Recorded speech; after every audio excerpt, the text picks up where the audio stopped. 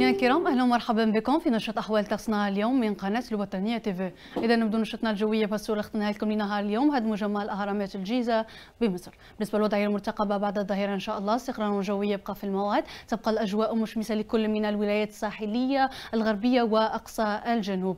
ونشوف درجة الحرارة. درجة الحرارة تبقى منخفضة مقارنة بالأيام السابقة. لذلك نسجل 21 درجة بعنا 26 درجة وهران 28 درجة سيدي بلعباس أقصى الجنوب 37 درجة و36 درجة بتندوف للملاحة والصيد البحري البحر على العموم سيكون قليل الاضطراب بالسواحل الوسطى هائج بالسواحل الغربية ومضطرب بالسواحل الشرقية. الرياح ضعيفة على العموم متغيرة الاتجاهات الغربية شرقية لا تقل سرعتها عن 40 درجة. أما عن غروب وشروق الشمس على مستوى العاصمة وضواحيها سيكون في حدود الساعة الثامنة تماما. إلى هنا مشاهدينا نصل إلى ختام نشرتنا الجوية. ما نقول لكم في عدد لاحق إلى اللقاء.